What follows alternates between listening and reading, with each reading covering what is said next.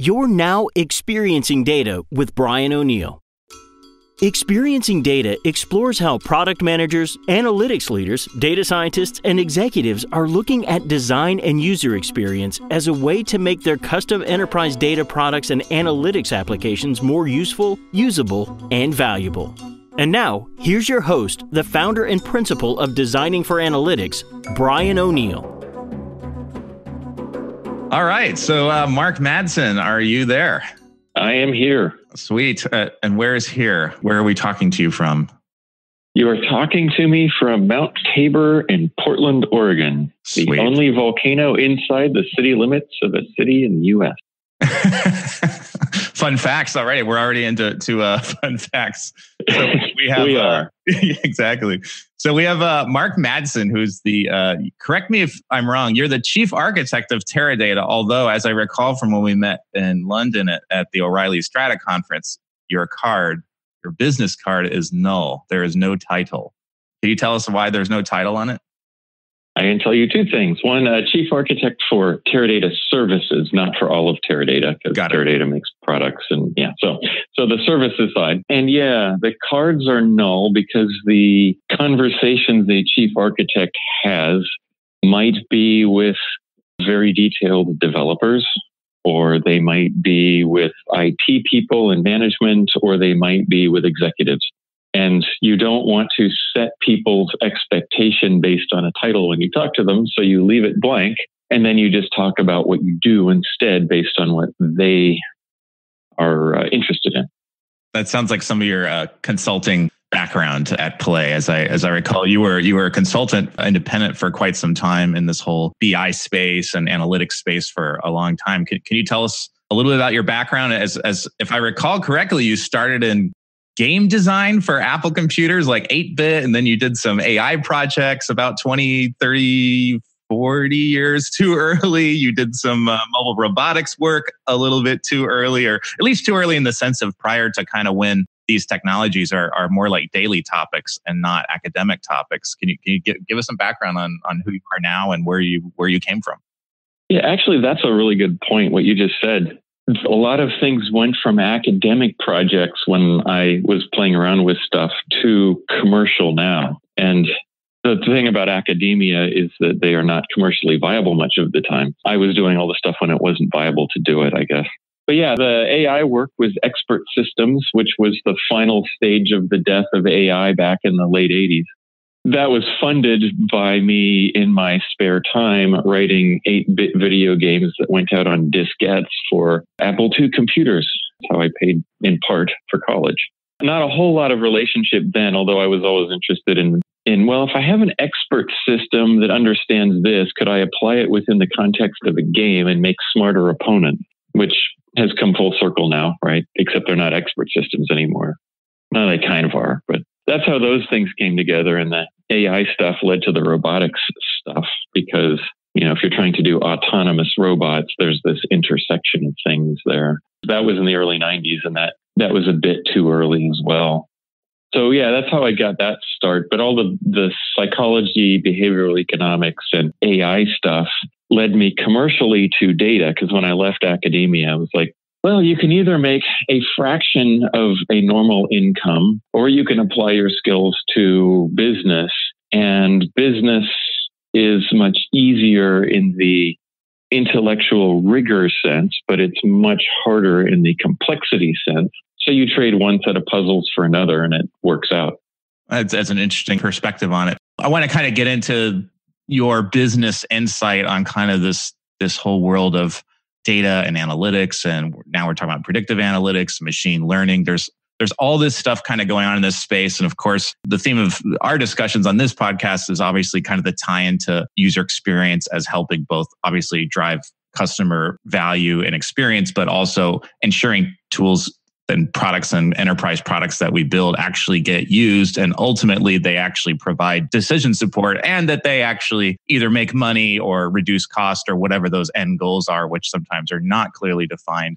I'm, I'm curious about how, why do you care about user experience? Because my the vibe i got when we met in uh, london i think it was at the strata conference i kind of have this thing when i meet people that are not titled designers that there are natural like design thinkers out there. And i usually you know they might they might have a technical title or something and usually i just my radar for that is strong and i'm like okay this guy has that bone in him because you're talking to a room full of the tech people about experience and one of the quotes i saw on one of your slides was the right tool is the one people will use and not the one that you want them to use so tell me a little bit about your interest in kind of that last mile like you you you really know the full if it's if the whole data pipe like from in data ingestion all the way through to some experience at the end, if that's the marathon, you seem to be aware of the value and the importance of the last mile. So, where did that come from? Like, why do you care about experience and what has it done being aware of that in your career? That's a good question because it's sort of, I mean, this is at the crux of a lot of product design. And I was just going through a product design problem today with a company that makes the service request system that we use to fulfill our, you know, IT service requests, which has a problem on one of its user submission forms, right? Things that are so basic and are infuriatingly frustrating because they prevent you from doing what you need to do. And so I have a lot of empathy for people, but I think really, you know, professionally for years I was a programmer, right? You're just sitting in there right in the guts of systems. When I started doing data projects, you know, it, it was early on because first we were applying behavioral economics and things to decision making. It was all decision theory stuff that I was working on and, and trying to do in corporate contexts or AI assist to, you know, we used to call it decision support. We didn't call it business intelligence or analytics or anything like that. I still like that old term. In order to do that, you are trying to put a computer with a person who is a not technical person and make apparent the information that they need or you know focus them on the important information either by letting them find it or guiding them to it. And those things are very high touch. And if you get them wrong then the systems do not get used or the results are not what you hoped for. That's what kind of led me down there. And the other aspect is totally unrelated, which was that if you write a video game, a video game has to draw you in. You have to be engaged in whatever that world is that the video game creates and the aesthetic of that world and the rules that one operates in in that world. And that requires that you kind of approach the problem user first or player first. Do you think that the has the fact that now now we have an maybe we have an oversupply of data and an undersupply of good decision support. Has that created more of the aware I, I think you know that the average uh, you know executive or you know a vp or someone that i talk to as a client these days they know what ux is now. It's no longer even explaining that and they understand they, they don't maybe understand it fully but they understand its value. Do you think that came out of the fact that there's a glut of data now and now we have this problem of making it accessible? Is that where did, did the glut create the awareness of oh this is a thing we actually do need to care about this? Does that make sense? Yeah it makes a lot of sense. I think there's multiple things going on. I think that's a big one you know what you just said. And I think there's a deeper reality to it. I think one of the things is that my career spanned a period when nobody had a computer on their desk at work to the period where everybody does one of the things about getting it right early on was business managers whose sole experience was VisiCalc running on an IBM PC or an Apple II, you know, the very first spreadsheet. And that broke the IT monopoly, which was green phosphor screens. That was the state of the art and cryptic incantations and IT in control of everything. And that put things into consumer hands.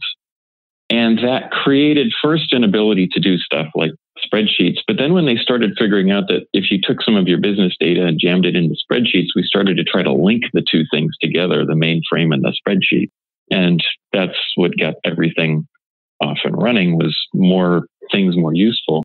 But along that path, there was a lot of design work that's uncredited in that history that relates to the oversupply of data and the undersupply of usable systems for it, which is what you just said. And I think that what, you put your finger on is, is key. You go through various periods of history and data gets made available, but we don't know how to make it usable or findable or whatever. And every system has a pivot point where at first there's not enough or just enough stuff. But eventually there's too much stuff. When you, you hit one of the, the keynote topics I did for a Strata conference early on, like back in 2012 or so, just on a history of information explosions. And that history of data now is kind of the same. We've got lots of data and it's distributed across silos and systems and repositories and websites. And you're trying to find all the things that are applicable to your situation and use them. And it used to be that most of that data got jammed into a warehouse. And it got that because there were a bunch of different mainframe and mini computer applications that had pieces of it. And you put it into a warehouse to get a holistic view so that you could find and do things. And that whole design paradigm took a decade or more to develop and then 25 years to mature to today's state, which is not sort of, you know, sort of supporting today's needs. But this went all the way back to clay tablets.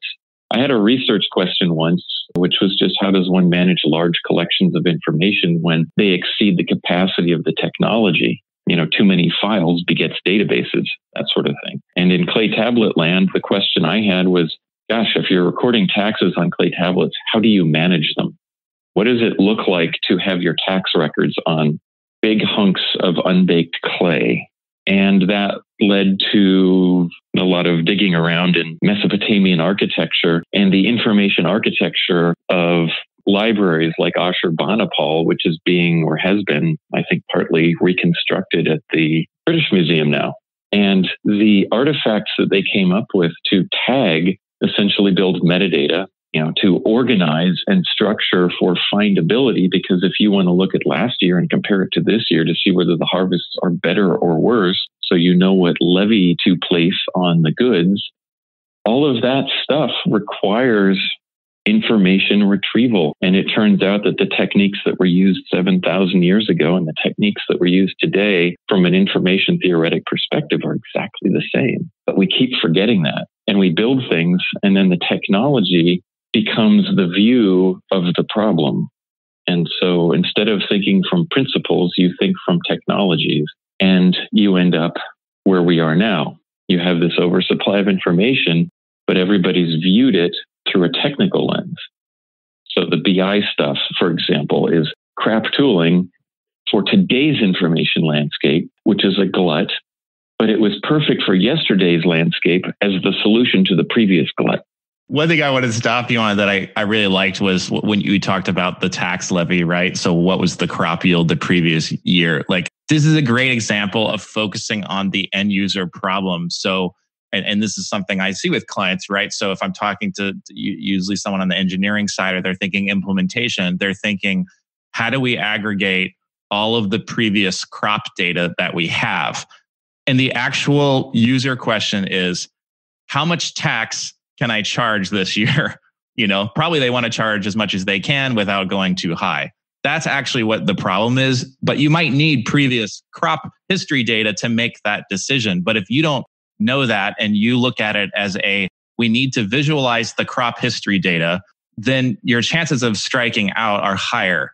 Do you agree that that's that's a gap that we see a lot in this space? Is you know the people building the services don't always know what those kind of tasks are. And granted, some things are exploratory, but I find that a lot of times there are still there's an 80-20 rule, especially with repetitive with tools that are designed for repetitive use. You need to support those repetitive tasks that people are going to do. If you know that the goal is to charge tax, I need to do this every March. I'm going to go and calculate the next year's tax or whatever it is. The system should be designed to do that. Yes. Yeah, I mean, you got a knack for finding some of the fundamental problems. And, and I think you put your finger on a couple of them in that statement. And I think I can only remember one now. But the point of focusing on that decision, that's key because that's what we build data or analysis or analytic systems for.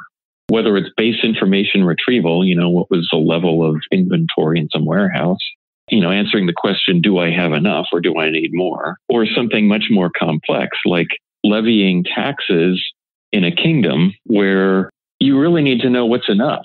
Is it to maintain the roads? Is it that you have to deal with the neighboring kingdom and so you've got to pay a bunch of soldiers to go invade them, in which case you need more money? There's always the extended context to those things.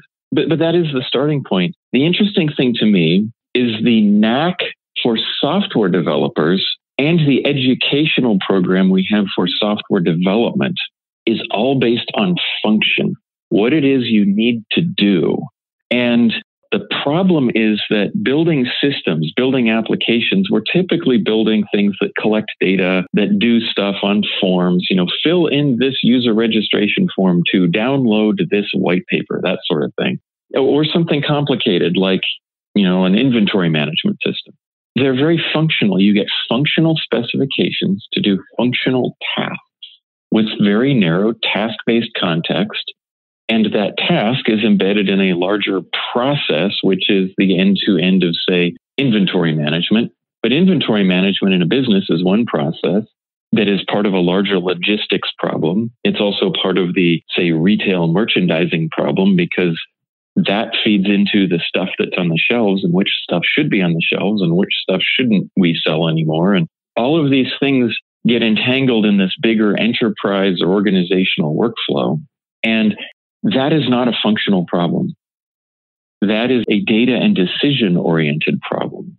And so the decision making that goes with it is, is the interesting bit. That means that your functional solution has to be focused on decision making or data in context. And at a narrow level, there's one you know set of things around embedding and at the wide ranging level it's completely different and so your approach to solving that is not what you learn, it's not what you're taught. All of the methodologies that tend to support this tend to be very different than the agile methods that everybody applies today. It's a very interesting, difficult problem to address. And I think when you described it the way that you did, it kind of it throws it in there because data problems tend to be broader than a single system and open-ended open ended problems and broad problems tend not to lend themselves to traditional engineering design solutions. And that's where you really hit back again on UX is the is a starting point. If you focus on the person and how and what they do in a much larger context than functional requirement, it drives you to think about the problem differently and more holistically that open endedness is something that a lot of us as developers had to be trained out of in order to work on data systems. Sorry, that was kind of long winded, wasn't it? no, that's okay. I mean, I, I think you you hit on you hit on a lot of good points there, and I agree. There, there's some of this stuff is squishy, right? Like when you get into the difference between getting a team aligned around a scenario versus the functional requirements, and and I see this happen in agile too where where sometimes you know when when teams are doing scrum they're really taking old fashioned requirements and they're just backing them into as a whatever business analyst i need to do x so that i can do y and while i understand the spirit the spirit is there they're they're following the template of scrum and writing stories sometimes that they've never gone through the process of looking at the bigger like where does this guy do his work? How often does he do this? Like, what's his life like? And why does, does he hate doing this? Does he love doing this? Like, there's no context of, there's no experience. They don't know what that experience is like that either he wants to have or he or she wants or does not want to have. The task repetition that might be involved. There's so much of that context is, is lost. So I think, again, that falling in love with the problem and, and getting your head really around the problem is critical. Otherwise, it's just you really fall into getting into big architectural decisions and all this stuff about how you're going to suck all this data in and then spit it out at the other end. And it could be a total fail. Like, you know. If you look at the industry surveys, a lot of the recent market attempt has been a total fail. Gartner, Forrester, McKinsey, these analyst firms at various levels, either IT or business, are saying that in the analytics and you know sort of big data realm, the project failure rate is somewhere in the order, depending on who you look at, of 10 to 20%. Uh, sorry, success rate is 10 to 20%. Now, the standard, the baseline that has run through the software industry since the 70s is 50. It's about a 50% failure rate, plus or minus five, and has been since the first paper I read on the subject of giant project failures back, uh, which was written in like 1970. Part of it, you touched on uh, agile and, and things like that. Agile is a great methodology when you already know your architecture, when you know your fundamental architecture. Like if your problem is web application or, you know, let's say you're Etsy or somebody like that, there's a pretty well understood framework within which you operate and your agile supports the exploratory work to build feature. And what I liked about it was that it, it got us away from a development model of know your requirements, builds to those things, heavy upfront engineering, because it's websites and mobile applications are high touch and user dependent. And so all this A B testing and things, it's supported by that very method and and along with it of course you know trying to take some of the operational components in the say devops world melding all of that together and that is great when you have that framework. The problem is when you have to deal with deeper information systems that and, and problems that people are trying to solve. Data problems are just viewed as we'll pile all the data together and then we'll build a feature for it. And that is exactly the wrong approach. You don't build libraries by stacking books and hoping to find order in them. You figure out orders and then impose those orders in order to solve the problem because the problem is one of something like, say, findability, which requires certain things. But there's a lot more than that, obviously. The, you touched on that the failure rates for the, these analytics and data projects. Um, I actually wrote an article trying to to gather up all of these surveys, uh, as many as I could find. I think I only found about six. The sad part being the November 2017 Gartner one was 85%. They actually put out a funny tweet. It was like 60% of all big data projects fail and then cross out, oh, we meant 85%. Like there's a funny tweet there, but it's like, and this, it's been bad for a, a long time. And something is wrong here with these big enterprise systems. And so th- this actually gets gets to my next question for you. You might be a really good person to answer this or at least have a perspective on it. How do you so it even touches on the the whole agile thing. So a lot of times when I'm when I'm working on a new product or a new application, if they want to do agile, I don't think agile is always the right choice for what we would call a design sprint or a sprint zero.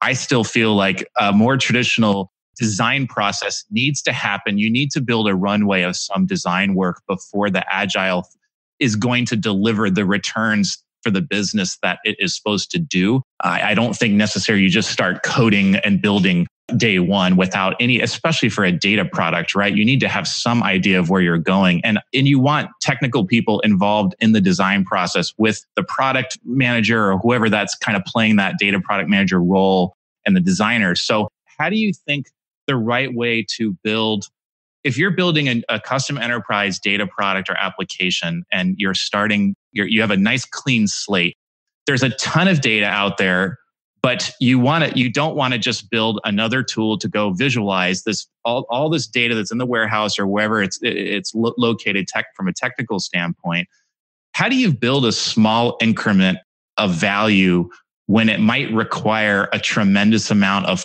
plumbing just to kind of get to step one. Like, oh my gosh, we actually spit something out in a browser.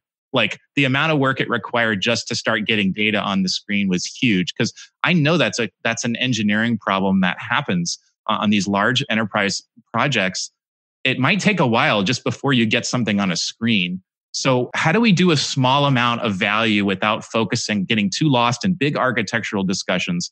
Do, do you have any suggestions for how to how to do that with design and, and the business in mind? Yeah, I mean, there, there's a bunch of sort of questions in there. I think you hit on some interesting things just in your choice of words. Like when you said, you know, accessing a bunch of data and visualizing it, it's a presumption that all I need to do is see the data and then my problem is solved, right? When when the data under glass is the departure point for the end user to actually do something. And so the focus, if you're designing any kind of data system is what is the action that is intended at the end of it. And that action could be, you know, I'm using Tableau and I'm trying to understand a problem so that I can figure out what to do.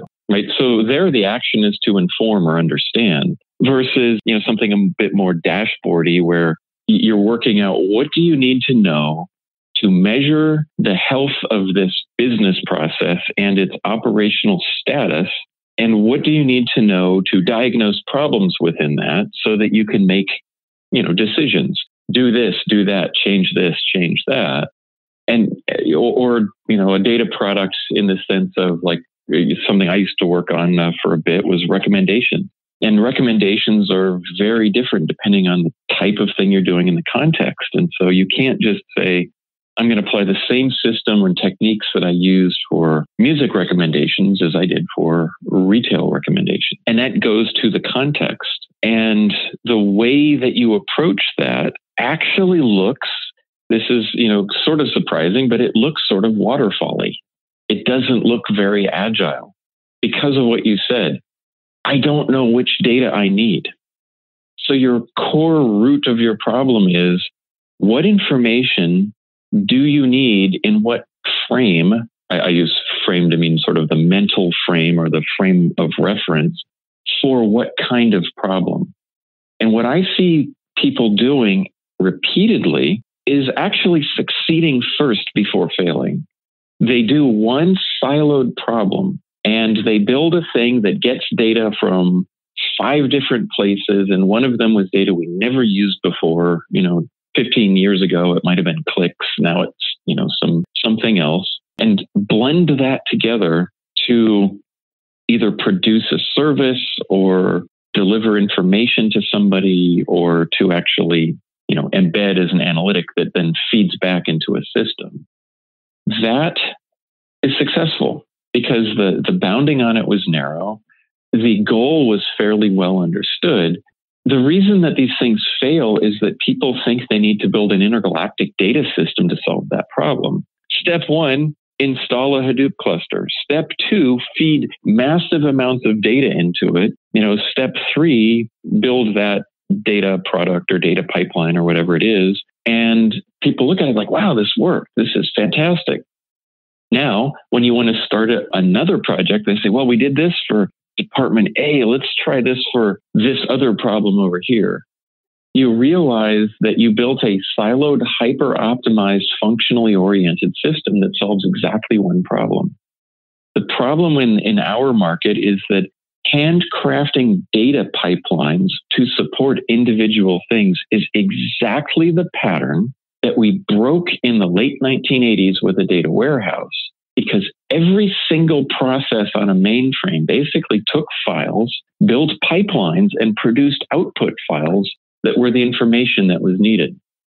It's a human driven, human engineering problem, which builds no smarts into it because you didn't get enough context to solve more than one or two problems at a time. And that leads you to, oh, this was successful. You do it a second time, you do it a third time. And then the fourth time, you start to look for these commonalities and you realize that, no, you know, 50% of the data is overlapping between these things, but the way we process them is different. And you build tangles. You end up with the, you know, the ball of mud architecture to refer back to that famous paper. And I think that, you know, if, if I'm thinking academically, of course, if you want two great re- references, one is Big Ball of Mud architecture, and the other is the uh, I think it was AI is or, or, machine learning is the high interest uh, credit card of technical debt. The paper that was written, they, they kind of outline this in much more technical terms. You have to do that thing you don't want to do, which is get a broad enough view to establish the level of infrastructure support that you need, essentially to define the architecture. And there's a part which is agile, which is the upfront exploratory pieces and the contextual construction of application and data product. And there's a part which is foundational infrastructure, which is the data components that live underneath this. And the fatal mistake that is made is thinking of it as a technology problem we can't use databases because X, their cost of storage is too expensive. I hear that all the time, and it's the stupidest thing I've heard. Cost of storage doesn't matter. Your cheapest cost of storage is dev null. You know, just, hey, write once, forget about it. If you want to retrieve it, that's what really matters. The reason some classes of system, content management repositories, data warehouses are so expensive is the labor that goes into making retrieval fast and efficient. And it comes at the expense of making new information available slow and inefficient. This is the actual problem that the Dewey Decimal System solved for books 100 years ago. That is what we need now. And if you don't think about that problem and the, the fact that you are not building a custom functional solution, you are making information available so that it can be remixed quickly to build the next one and the next one. You need agile and lean and exploratory above the line and carefully curated and fast enough to support the accretion of new information and cataloging of it below the line. And if you don't divide the problems, you are screwed. And that's why I think there was five years of successes and excitement around a lot of analytics, followed by the last couple of years of, gosh, this is expensive and things aren't working out the way we expected.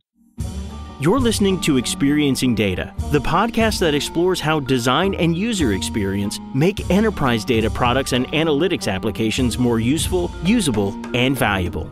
Your host is Brian O'Neill of Designing for Analytics, designer, UX consultant, and advisor to the business leaders behind custom enterprise data products and analytics applications. For more information, visit designingforanalytics.com. If you're enjoying the show, help Brian out by rating it on iTunes.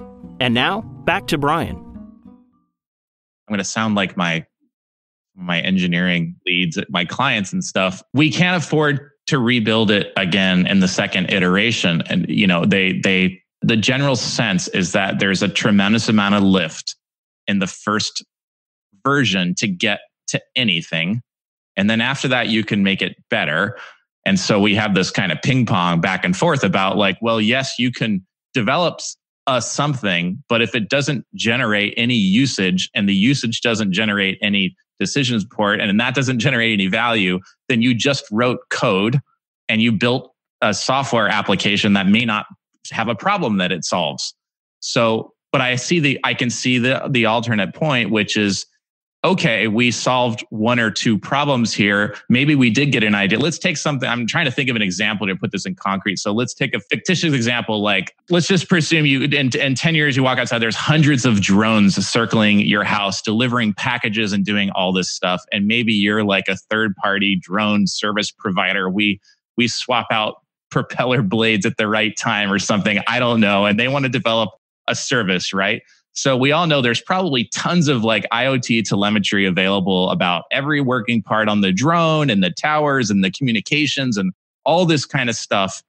And you could say, well, our, our first problem is we want to predict when, you know, the propellers need to be, you know, changed out. And I don't know what it may be. Uh, there's a couple handful of tasks there. The engineering person is going to argue that there's a ton of data need to gather just to get to that point where we can start doing that one prediction. But the fear is going to be, well, this needs to turn into a product we can charge money for to these, you know, the drone operators or whatever. And so we need to have more than just that one thing, or we don't have a commercially viable product. So that means we need to think bigger about the whole architecture at the beginning. And then the next thing you know is we're spending all this time plumbing for all of the possible drone and the tower data and you know the whole system before we've even solved that first problem, which is just propeller replacement or whatever it may be. Are you seeing what I'm saying? So, like, what is that? You know, I you can make the argument, and uh, you know, about the the need to go understand these scenarios and what the what the usage scenarios are, and the the actual problems and what the the decision flow might look like for these users to inform the initial engineering sprints but there's still that lift, right? Do you think it's like, yes, it start with individual problems, solve those, and rework the architecture over time, even if, you know, by the fourth strike, it's a big lift? Is that the way to go? And that is exactly the wrong way to go, right? Because if you try to do that, I think that's that's basically the solve one problem at a time, focusing on the functionality of the problem rather than what is the aggregate set of things that you need to do in the bigger picture. And that is, you know, this is complex system stuff, right? You need different sets of thinking tools around it. Just applying systems dynamics, you know, systems modeling kind of things to think about that forces you into the broader context. And you know, you, you start and you're like, okay, I need this information, I'll slap it out here. Then I need this information, I'll slap it out here.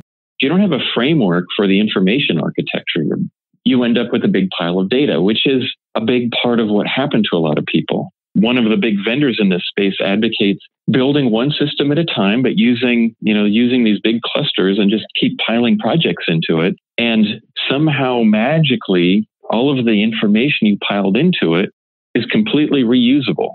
And that's a programmer centric view of the world because as a programmer, I see X, Y, Z, I figure out what I need, I build my thing. When you try to put that into the hands of a user or you try to expand the scope of that across an organization, you end up with a giant collection of single purpose things. It's sort of like trying to build a hundred story office building and refactoring every few floors. Right? Eventually, the technical debt that accrues, unless you figure out what you're needing to do, that will kill you. And so you have to understand well, this is a 100 story building. We've got to use steel girder construction and concrete. So we have to put that in place first. I think, though, construction analogies are bad analogies. I think it's better to think about infrastructure systems, municipal water. Where does the water come from? Where does it go to? How is it being used? Because I look at data systems and I see the two parts and I try to partition them. One part is the data collection and provisioning infrastructure, which is common to all at various levels of capacity. 100 story building needs big pipes, single family home needs little pipes. And then the second part of it is the application. And that application is where things like the agile methods, the exploratory stuff to build data products comes from. And the infrastructure piece is something you've got to get right.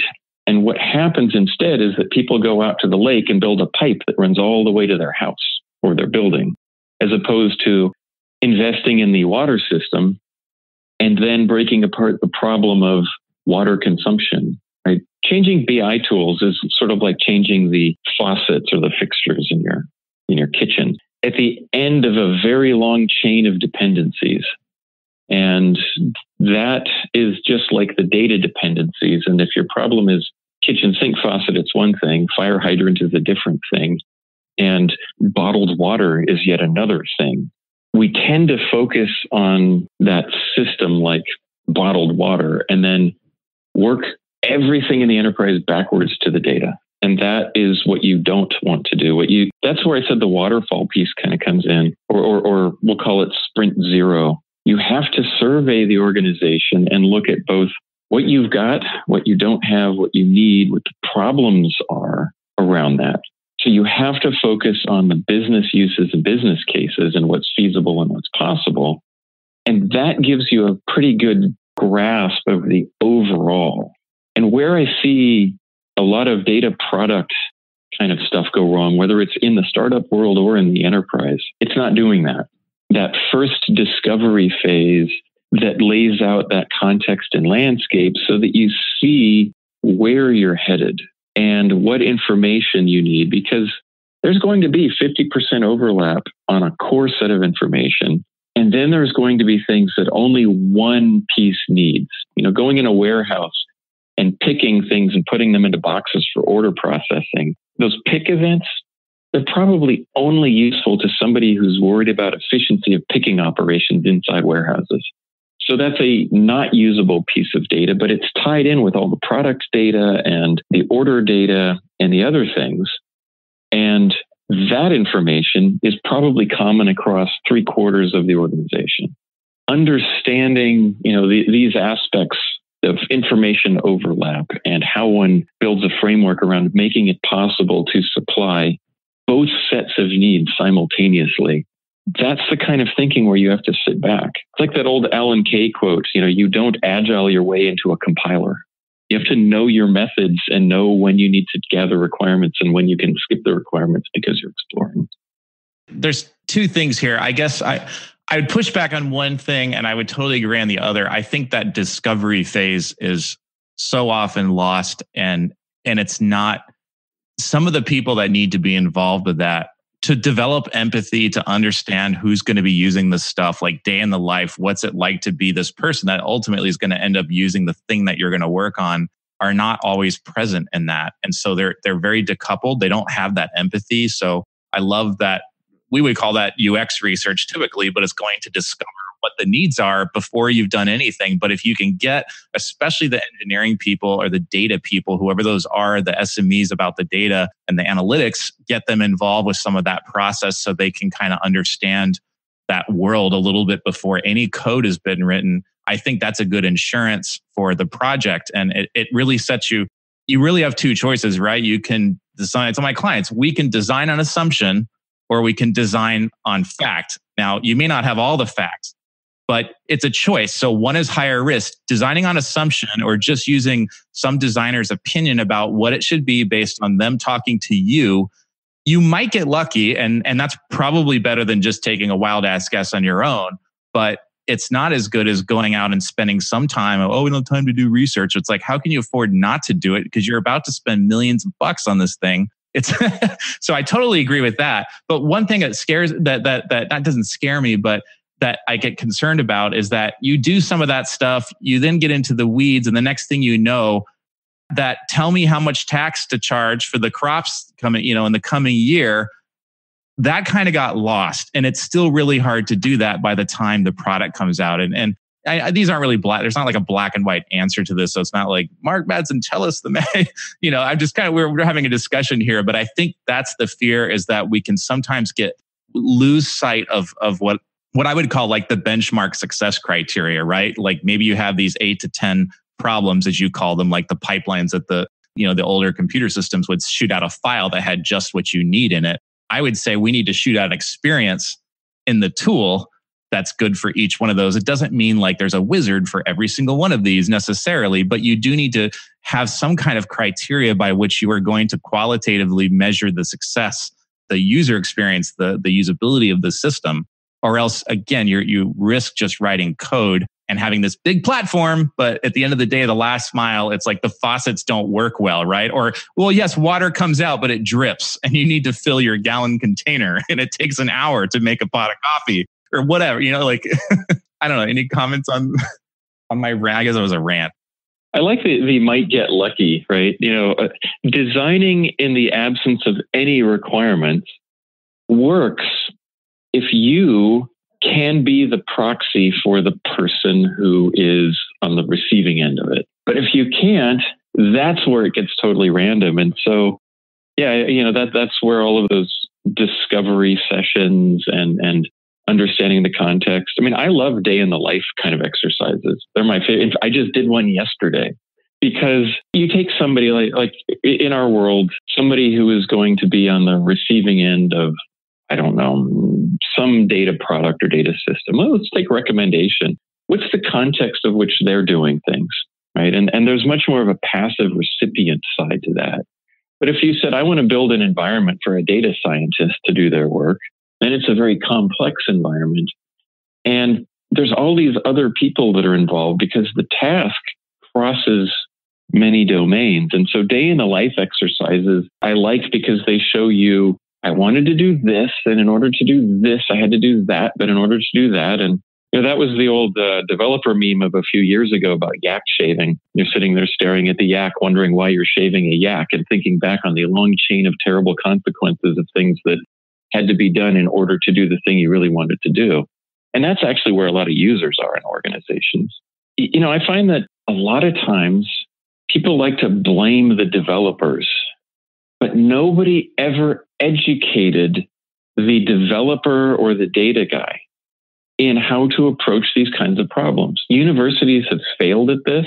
Everybody focuses on computer science stuff, or now with data science, they focus on math. Nobody focuses on the whole problem. And so when you go out and you do these things, if you do them appropriately, and that's that's the trick, talking to somebody about the kind of problem they're solving. Well, why are you worried about raising taxes, uh, you know, this year? Why don't you just do what you did last year? Well, because we have a war coming. Okay, well, if you have a war coming and you need to make spears, then you've got a bunch of things that you need to think about. And so you asking these sort of what next, what before, what after, all of those things flesh out an understanding. And I think that puts the understanding into the developer to make better design decisions. And so that's why I feel that this UX stuff and starting exercises from the complete end user and removing a lot of technical aspects out of the conversation helps so much. And the last mile being the key to the success or failure of a lot of information driven systems. That right there, that's what you started with. The right tool is the one that people want to use, not the one that you want them to use, which is how IT thinks of their role. You'll use what we built and bought for you. That's right. Eat your vegetables; they're good for you. totally. No, it's you're, you're, spot on, and and I, I'll tell you, there's nothing like a developer or a stakeholder who has seen the light and they've either watched someone suffer through the crappy thing that they made or someone else's crappy tool or they've simply spent some time and a light went on like i don't know if i don't know if maybe you, did you have any particular thing that was illuminated from the session you the discovery you did yesterday like that's that's one of the most exciting things for me i think about being a designer is when you find this nugget of stuff that like no one has talked about and you're like wow i had no idea that you have a team of there's like four people that you need to talk to to do this and we think we're building a self-service tool for this and there's like an approval chain and like you have to send this data to this other thing and it comes back and then you got to share it with this other person like wow just head head exploded, but like in a good way. Like, oh my gosh, and we could totally solve all of this, but we never knew that this was even a problem. Did you have any moment like that yesterday in your session? I think there were a couple probably. It happens almost every time because there's always some bit of context, and maybe one person on your team knows it and the other five don't. And it's just assumed, right? Everybody just sort of assumes or they're unaware. And so fostering that, sometimes it calls into question assumptions. You know, the discovery that wait a minute, we're building all of this stuff into our product to do X. But do we really actually need to do X? Because most of the time in this context, it's going to be done over here, not over there. And that completely changes what the product ought to do or what the data should be or you know whatever it is you're building and that's that's the sort of thing that that comes up that changes your your engineering efforts okay so maybe instead of doing this, like everybody talks about self service data integration in order to do things like build data products, and you have a data engineering team and they work on this stuff, but you want self service so that analyst types and, and data scientists could do a lot of that themselves.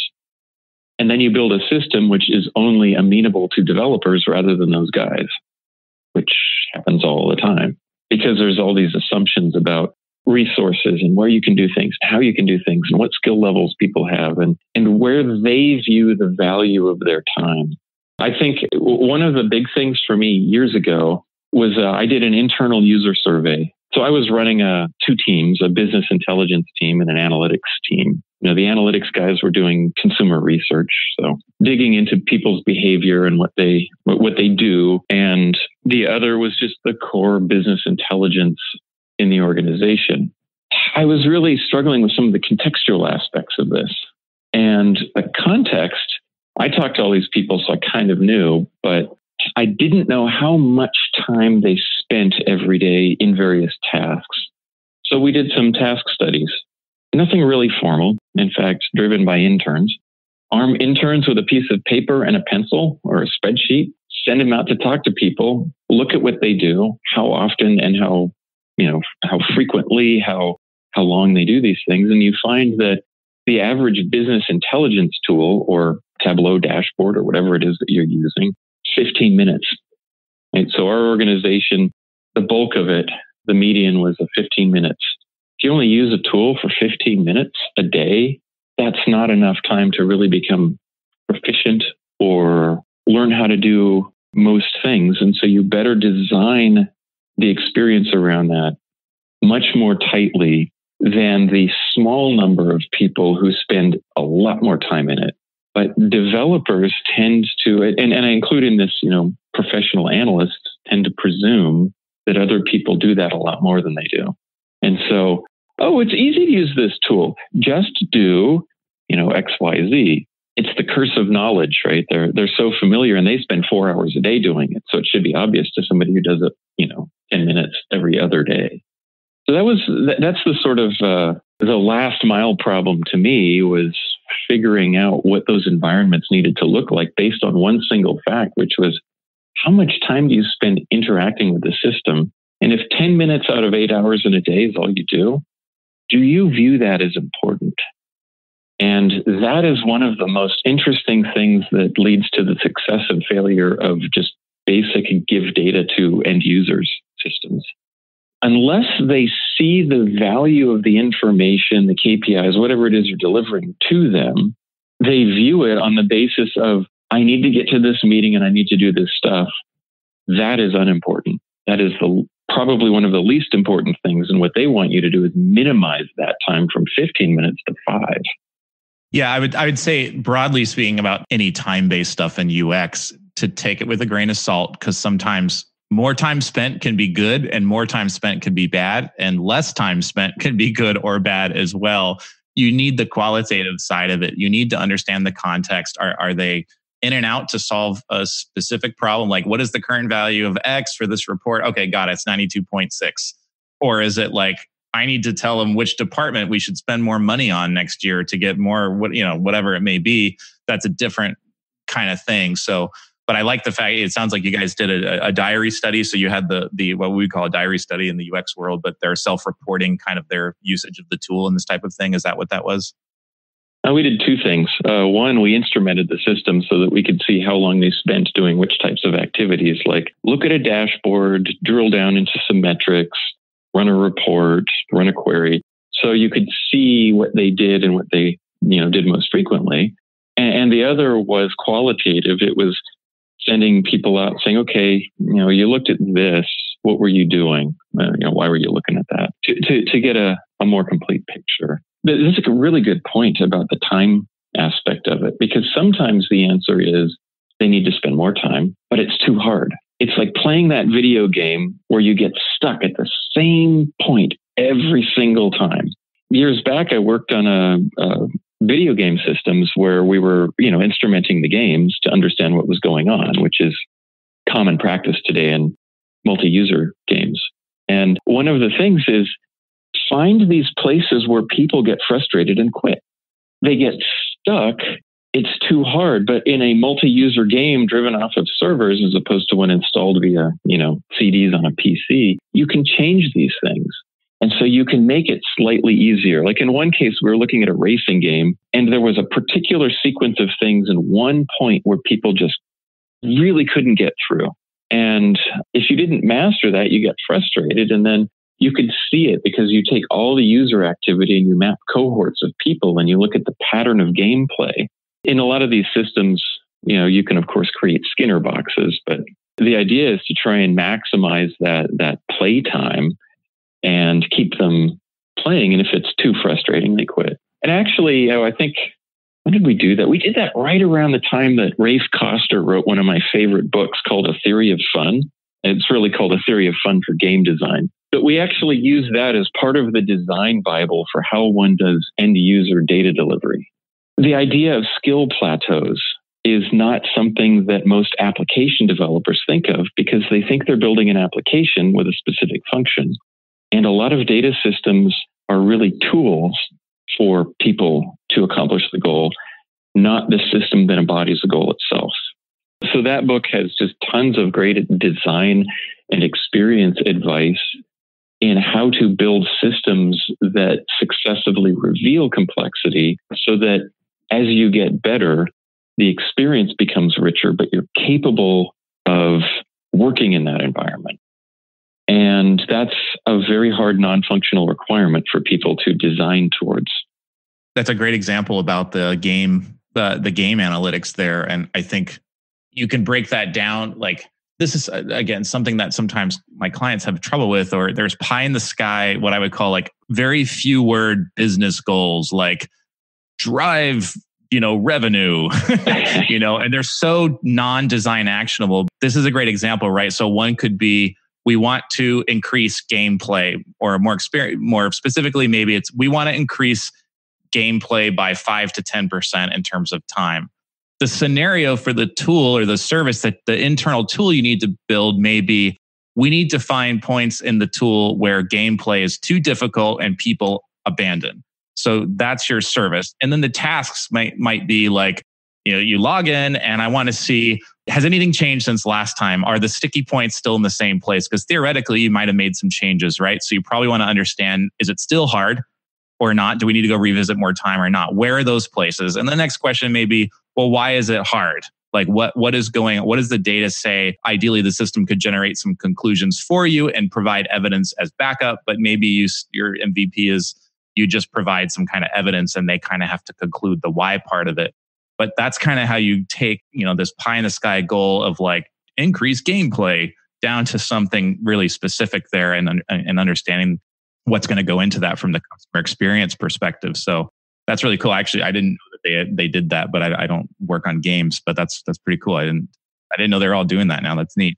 They're pretty much all doing that now. Any any multi-user or even mobile games you'll see it in mobile app design too I didn't work on it, but I, I, I would presume that one of those popular games like like Candy Crush or Angry Birds would you know would, would dial in that stuff. I, I know the guys who were building Angry Birds had a lot of telemetry on these things, but I don't know what they did with it.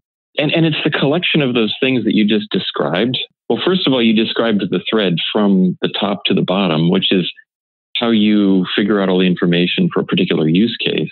The, the other is that the collection of 20 or 30 of those across different points in the organization give you the shape of the data space and the kinds of things in terms of capacity and capability that you need. And that's the one part of it feeds the application layer, which is what are you trying to do and enable and support. And the other part of it is the infrastructure component. And you now have enough information to guide the lower levels you know, the, the platformy space for the, the data work.